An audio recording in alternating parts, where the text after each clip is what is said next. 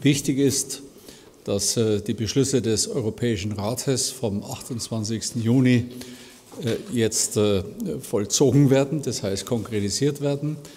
Das heißt die Schaffung von Ausschiffungszentren im Norden Afrikas und die Bildung von Aufnahmezentren in Europa, beides auf freiwilliger Ebene und der bessere und wirksamere Schutz der EU-Außengrenzen. Da stimmen wir überein, da werden wir auch Österreich unterstützen. Und ich hoffe, äh, dass wir in den nächsten Monaten hier äh, wirklich auch zu einer vorzeigbaren, äh, wirksamen europäischen Lösung kommen.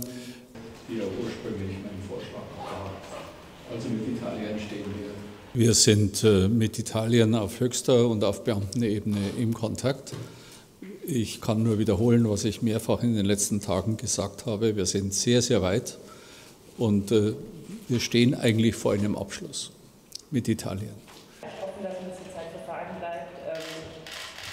Ähm, ja, das macht mich ein wenig nachdenklich, wenn äh, Personen jetzt in einer Art völlig unkontrollierten Verteilmechanismus von Schiffen kommen, ähm, wo keinerlei Überprüfung stattgefunden hat und wo wir ähm, dann sozusagen ja, Menschen quer durch Europa verteilen, wo wir nicht wissen, ob der Schutzstatus überhaupt äh, besteht.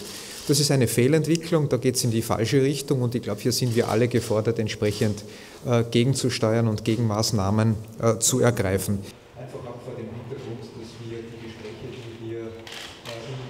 Mich haben die Ereignisse in Chemnitz mindestens so bewegt wie viele, die sich stärker dazu öffentlich äußern, und zwar äh, wirklich äh, aufgewühlt bewegt.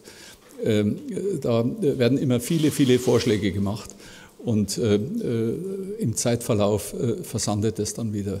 Ich habe auch eine politische Kultur, lieber Herbert, von der du heute bei dir gesprochen hast. Wenn ich etwas ins Auge fasse, dann wird es auch gemacht, aber nicht nur angekündigt. Also ja zur Bekämpfung von äh, extremen, radikalen Parteien, die nicht auf dem Boden unseres Grundgesetzes stehen. Und äh, Nein zu reinen äh, Aktionismus. Wirksamen europäischen Lösungen kommen. Bisher haben wir sehr wohl